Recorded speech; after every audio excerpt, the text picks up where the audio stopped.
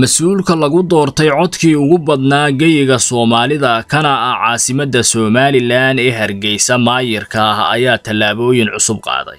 Waxaana lagu eedaynayaa mabaadi'dii ay dadka badani ku doorteen inuu beddelay oo wakhtigan jaho kale qaaday.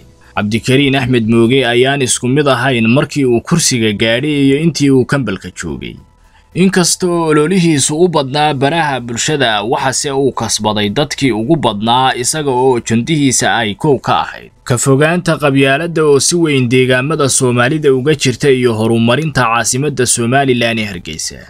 Labadan qodob oo si weyn quluubta dadka u soo jiitay muxuu maanta ka hayaa. Warbixinteennan oo ah dabagalka siyaasadda ah ayaynu ku falaqaynaynaa tan iyo labadii kun iyo koob iyo labaatankii oo dadkii ugu badnaa ay doorteen cabdikariin axmed mooge sidoo kalena uu noqday maayirka caasimadda hargeysa.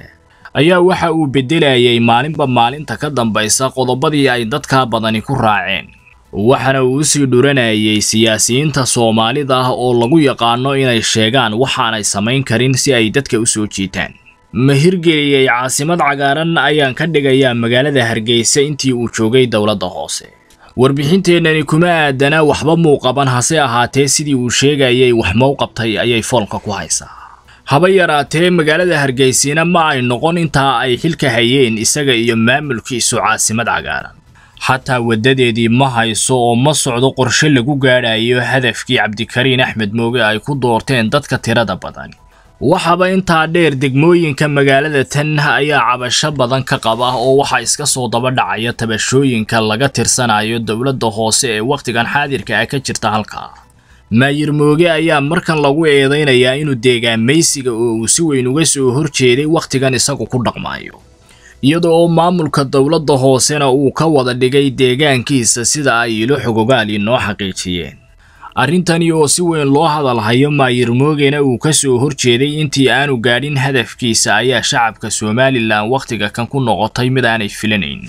Maayirka oo hore u sheegay inuu mushahar la'aan shacabka ugu shaqayn doono ayaan wakhtiga kan taana suurtogelin sida oo kale waxaa ballanqaadyadiisa ka mid ahayd cid kasta oo u baahataa caasimadda somalilanna joogtaa si fudud inay ku heli karto iyaduna may suurtogelin waxa koboc dhaqaale iyo mid horumarba samaynaysaa magaalada hargeysa oo dabiiciya ayna qayb ka tahay dowladda hoose.